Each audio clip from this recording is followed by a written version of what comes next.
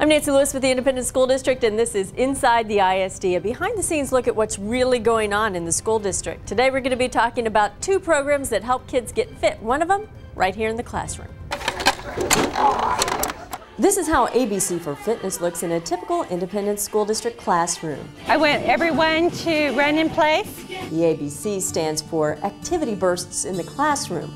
The point is to get kids out of their seats and up and moving.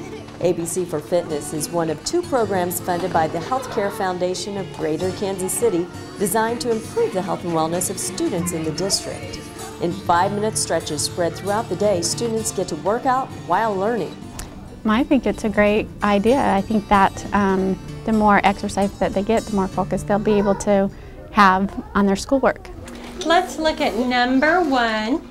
By including exercise in a classroom's transition times, students get the benefits of an additional 30 to 40 minutes of physical activity each day. I think with the PE program and the ABC for Fitness and the Nutrition Detective, it's a wonderful idea.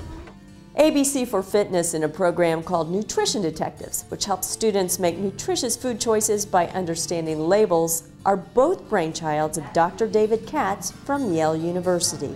So I would hope every family would lend their support to programming in schools to promote health.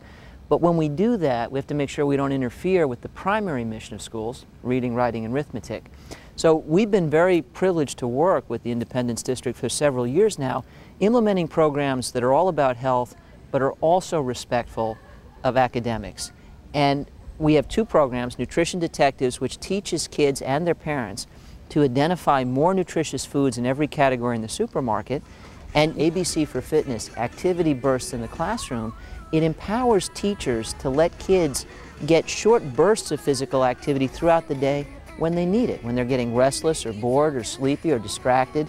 And when the teacher would otherwise need to spend time on disciplining the little devils, instead of doing that, they can now have a highly constructive burst of physical activity with teaching superimposed on it so it actually can increase teaching time while improving health and fitness. Dr. Katz and his team at the Yale Griffin Prevention Research Center are studying students right here in the Independence School District to determine the program's impact on students. We've seen great results with ABC for Fitness over the past three years.